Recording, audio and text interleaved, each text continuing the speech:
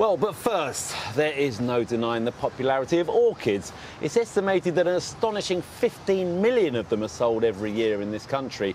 James Wong has been to report on this horticultural success story.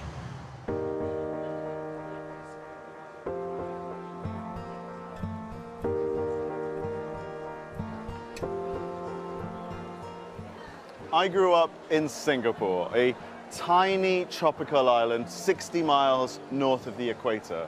And there, orchids are everywhere. I mean, particularly the epiphytic orchids, the orchids that grow on trees, stuck to their bark and festooned along their branches. The one orchid that I was desperate to grow but couldn't was the Phalaenopsis. The problem with my garden is it was just too hot for the orchids. At sea level, smack down on the equator, it's roasting temperatures, packed full of humidity, really, really high light levels.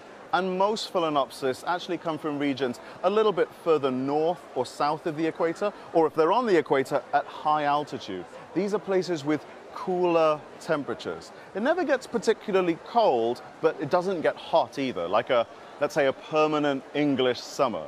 These guys thrive in living rooms across the UK because they're adapted to living room light levels and temperature.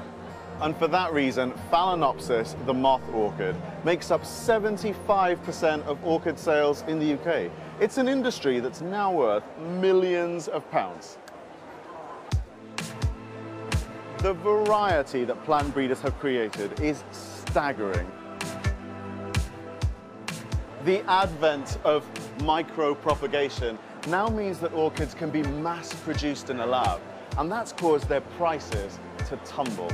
It's this form of technological cloning, where you can make millions of copies of a plant very cheaply and easily.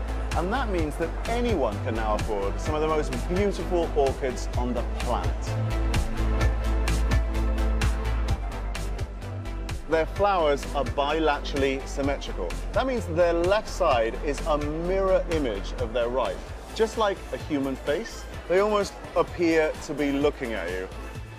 Moth orchids can now be found in superstores up and down the country, just one of thousands of species. We visited Vacherot and Le Couffle Nursery just outside Paris to look at their love affair with these sublime plants.